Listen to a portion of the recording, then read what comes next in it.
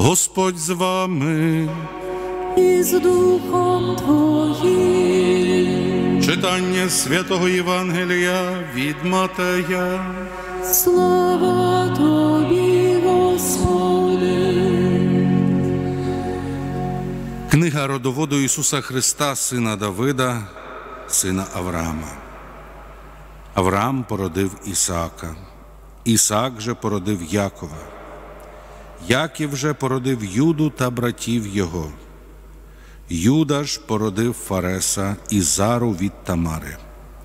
Фарес же породив Есрома, Есром же породив Арама. Арам же породив Амінадава, Амінадав же породив Наасона, Наасон же породив Салмона. Салмон же породив Вооза від Рахави. Вооз же породив Овида від Рути. Овид же породив Єсея, Єсей же породив Давида царя. А Давид породив Соломона від тієї, що була в Урія. Соломон же породив Ровоама. Ровоам же породив Авію, Авія же породив Асафа, Асаф же породив Йосафата, Йосафат же породив Йорама, Йорам же породив Озію, Озія ж породив Йоатама, Йоатам же породив Ахаза, Ахаз же породив Езекію. Езекія ж породив Манасію, Манасія ж породив Амоса. Амос же породив Йосію, Йосія ж породив Ехонію та його братів під час Вавилонського переселення. А після Вавилонського переселення Ехонія породив Салатиїла, Салатиїл же породив Зоровавеля, Зоровавель же породив Авіюда, Авіюд же породив Еліякима, Еліяким же породив Азора, Азор же породив Садока, Садок же породив Ахима, Ахим же породив Еліюда, Еліюд же породив Елеазара, Елеазар же ж породив Матана, Матан же породив Якова, Яків же породив Йосифа, чоловіка Марії, від якої народився Ісус, названий Христом.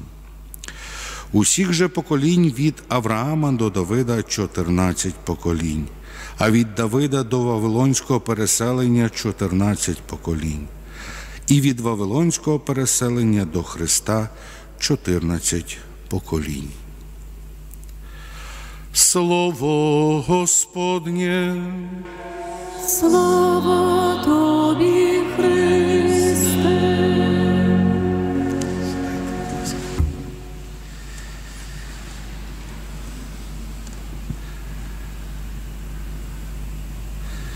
Здається, коли читається родовід Ісуса Христа, що тут можна сказати? Почули е, кількість імен 14 з однієї сторони, 14 з іншої, 14 з третьої. Але погляньмо на сьогоднішній світ. Сьогодні, знаєте, так популярно дуже стало також досліджувати своє генеалогічне дерево. З'явилося дуже багато, знаєте, е, сайтів, які пропонують нам знайти е, наші коріння, дізнатися про своїх прабатьків, з якого роду ми походимо, правда, який наш родовід там до 10, го 20 го і 30 го коліна. Е, Подібний правда інтерес, напевно, до історії свого роду існував також і в давньому Ізраїлі. Частково, власне, саме тому в Святому Писанні ми дуже часто зустрічаємо імена дітей, їхніх батьків, прабатьків і так далі. І так далі. І, власне, ці генеалогічні лінії вони можуть здаватися на перший погляд нам дуже нудними. Навіщо нам стільки імен, навіщо нам стільки поколінь? Перераховувати ще такі несподівані і дивовижні імена, які сьогодні правда не вживаються. Але насправді е, кожна із цих осіб, яких ми сьогодні згадували, вона розповідає свою власну історію, історію свого життя і історію, наскільки Бог проявив в цьому житті надзвичайну свою міць, силу і благодать. Знаєте, особливо е, вагомо і е, переконливо це робить генеалогія, яку ми чули самого Ісуса Христа. Тут тільки в декількох ось віршах ми бачимо прояв як людської гріховності, так і множину, можна сказати, достаток Божого благословення, яке Бог проявляв для людей. Ми чули ось, наприклад, е, патріарх Юда. Його лицемірство принесло ганьбу на його родину. Книга буття про це описує. Наприклад, блудниця Рав, чия е, хоробрість, чия, правда, така можна сказати, е, віра, віра в Бога врятувала тих ізраїльських розвідників.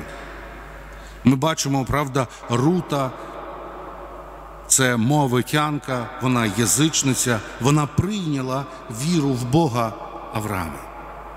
І овдовівши ради своєї свекрухи, юдейки, вона залишає рідні землі і що робить?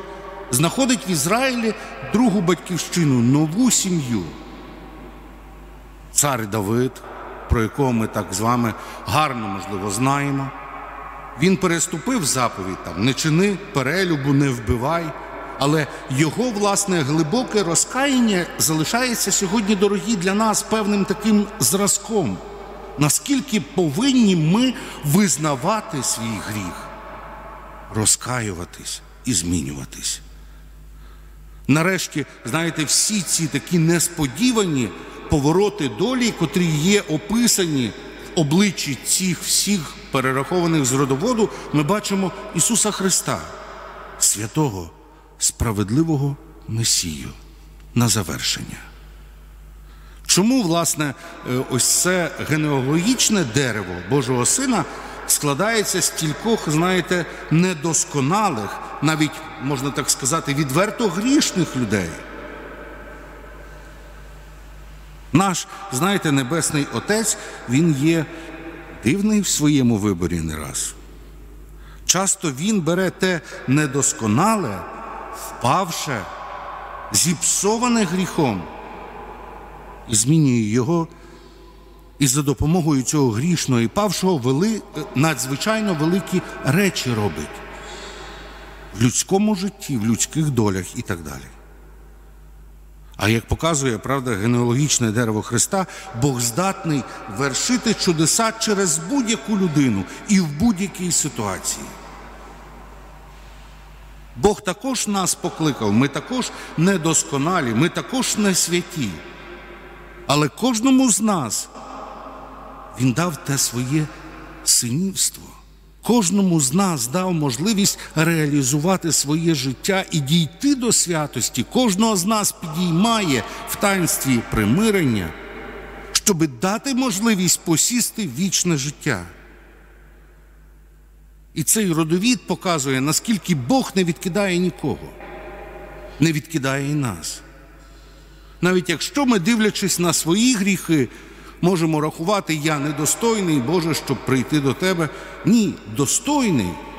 Бо ради Тебе, ради мене, ради кожного з нас Христос прийшов на цей світ і народився, щоб дати нам повноту життя, щоб привести нас до спасіння, щоб поєднати нас з собою. І в цьому проявляється велика любов, милосердя Боже по відношенню до кожного з нас. Нехай, власне, сьогоднішній день, сьогоднішнє слово, яке керує до нас Господь Бог, буде словом, яке оселиться в наших серцях, словом, яке допровадить мене до єдності з Богом, словом, яке дозволить мені прямувати і крокувати дорогою до Царства Божого. Амінь.